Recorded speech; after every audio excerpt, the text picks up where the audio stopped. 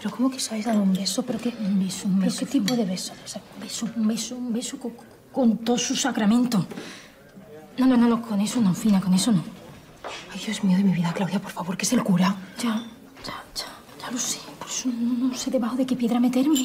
Pero a ver, ¿cómo fue? Fina, pues tú sabes que, que yo con él, porque que me lo paso muy bien, que estoy muy a gusto, que, que me hace reír. Bueno, ¿y qué? ¿Y qué? ¿Se lo vas a agradecer de esta forma? No, no, Fina, pero... Pero bueno, que, que yo me siento atraída por él. Ay, Dios mío. Y él yo creo que también se siente atraído por mí.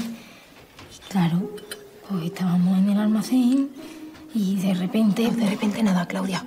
Un beso no se da de repente. Un beso, pues, pues implica un acercamiento. Que ya lo sé, Fina, que ya lo sé que está muy mal. Vamos a arder los dos en el infierno. Ya está hecho, ¿ya qué puedo hacer, Fina? ¿Qué? Pues no lo sé. Dímelo tú. Él es un sacerdote, Claudia, con su voto de castidad y tú vas a ser madre. Que esto es lo peor de tú, que esto que, que esto es un amor prohibido, prohibido, prohibido. Es que mira que hay amores complicados, complicados, ¿eh?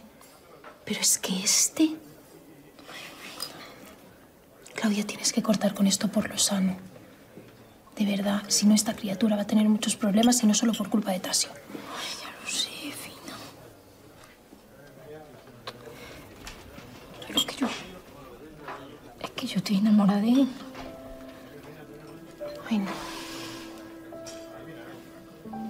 Ay, Dios mío. Pues no me parece.